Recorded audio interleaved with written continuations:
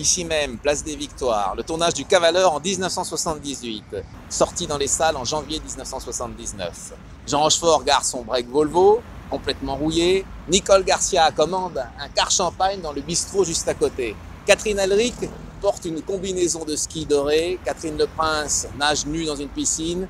Et Daniel Darieux se remémore la libération de Paris. Alors, si comme moi, vous aimez les cravates en tricot, les imperméables froissés, les dialogues de Michel Audiard, la musique de Georges Leroux, des actrices telles que Jacqueline Bisset, Marthe Keller ou Annie Girardot, vous aimerez mon duetto consacré au réalisateur Philippe de Broca.